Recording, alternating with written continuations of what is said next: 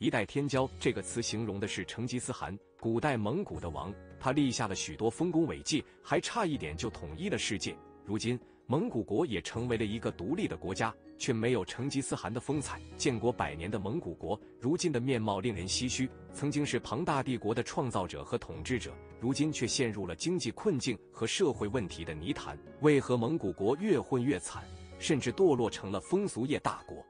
这里是小豆之历史，订阅我，小豆之带你探索更多神秘的趣味历史。蒙古的历史，蒙古国的历史可以追溯到元朝时期。当时蒙古人统一了中原地区，建立了庞大的帝国。他们的征服精神和军事战略在历史上留下了浓墨重彩的一笔。然而，随着清朝的崛起，蒙古地区逐渐被清朝统治，闭关锁国政策导致了外来势力的介入。这一时期，蒙古国的发展受到了限制，经济和文化的交流也受到了阻碍。最终，苏联的影响使蒙古国成功独立。然而，尽管蒙古国拥有丰富的自然资源，如煤炭、铜矿和稀土矿等，但他们的经济发展却一直滞后。早在清朝之前，蒙古国就一直想独立。当时中国的国力很强，对各领土的控制也比较严格，所以蒙古国的独立梦想并没有实现。到清朝的时候，中国逐渐衰落，他们终于寻到了机会，独立的梦想也要实现了。这个时候，中国比较脆弱，也比较忙碌，蒙古不断提出自己想要独立的想法。但当时中国无力惩治这件事，就被搁置了。直到二战结束，美英两国他们不顾中国的强力反对，和苏联一起同意蒙古国独立的想法。中国经历了长时间战争，国力衰弱，无力反抗，只能把选择权交给蒙古国。最终，在一九四五年的时候，百分之九十八左右的蒙古国公民投票决定统一独立后正式建国。独立后走下坡路。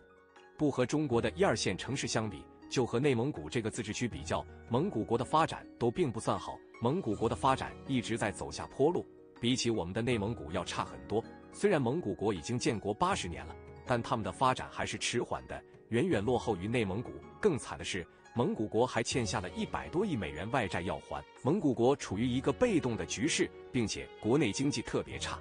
据统计。二零一八年，中国内蒙古的 GDP 是一万七千二百八十九亿元，而蒙古国只有九百亿元，简直是降维打击了。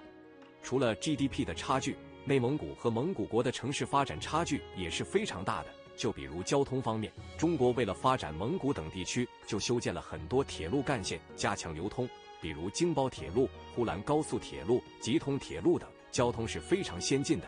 再看蒙古国，全国也只有两条能够连接中国、俄罗斯的铁路，而且就连正常的公路都很少，因此在蒙古国交通是非常不便的。人们外出比较麻烦，经济自然也流通不起来。再说到企业发展，由于中国政策对内蒙古的扶持，很多大型企业都在内蒙古自治区落地了。例如，国民品牌蒙牛这么大的品牌，就在内蒙古修建了企业基地，给当地人提供了大量就业岗位，同时还促进了地区经济的发展。这也是内蒙古 GDP 增长迅速的原因之一。当然，这样的大品牌不止一个，在内蒙古的企业也不止一家。有了国家的帮助，内蒙古自治区发展得是比较快、比较好的。蒙古国缺乏基础设施和工业生产能力。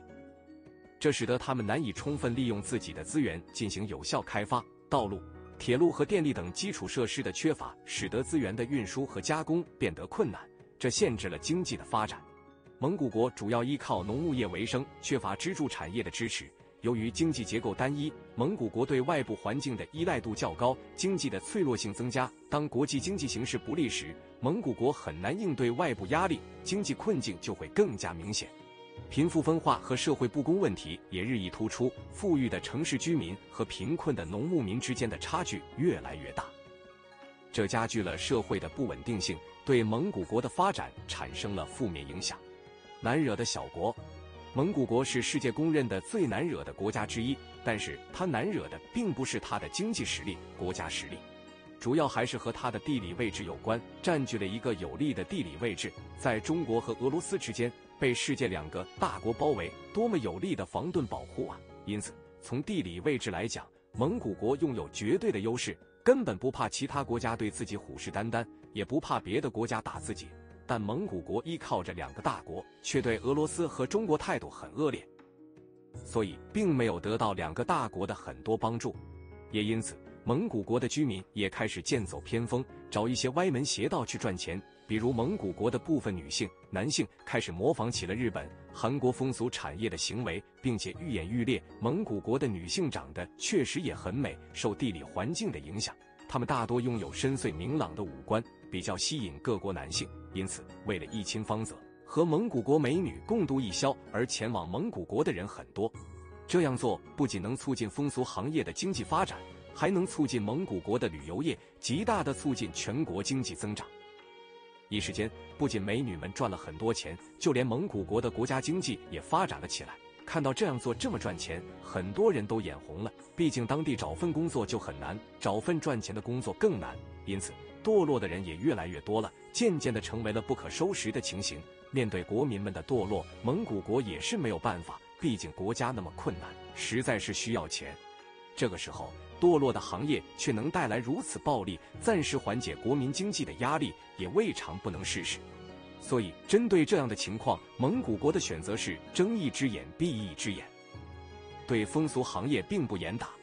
这在我们国家是万万不可能的。我们国家国风淳朴，对风俗行业的击打还是比较直接的。看到国家并不明显的反对，那些胆子大又迫切想要赚钱的人纷纷心动了，不需要搬砖。不需要高学历就能这么轻松的赚到钱，想要跃跃欲试的人也越来越多了。自此，蒙古国的风俗行业发展迅猛，达到了史无前例的混乱时刻。在当时，只要缺钱的男男女女都会踏进这个风俗圈，出卖自己的肉体，只为了挣快钱。慢慢的，蒙古国的风俗圈也有了恶性循环，也有不少年轻的大学生踏进了风俗圈。在他们看来，似乎这并不是一件稀奇事，也不是什么错事。毕竟周围的人都在做，只要是为了钱，他们能放弃的东西就会变得很多，比如自己的廉耻心。据可靠数据表示，蒙古国从事风俗行业的女性有一九万人，而全国人民数量也只有三百多万。同时，这些数据并不包括男性以及那些暗自从事风俗事业没有明说的人。这样一想。是不是就觉得很可怕？几乎是二十分之一的占比了，怪不得是风俗大国呢。